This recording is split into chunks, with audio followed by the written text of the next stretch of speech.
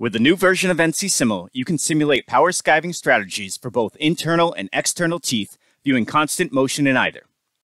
This method is an alternative to shaping or broaching when producing gears. It can be highly advantageous thanks to the continuous machine motion at higher speeds, which NCSIMUL can fully display and certify on any axes used.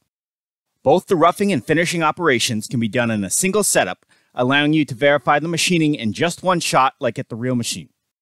This eliminates any refixturing setup deviations that could occur in other strategies. The tooling can be created with full 3D models imported from steps, STLs, or machining databases. Additionally, this can increase tool life, which NCSIMUL can also track for you based on distance traveled, engagement, and torque on the spindle.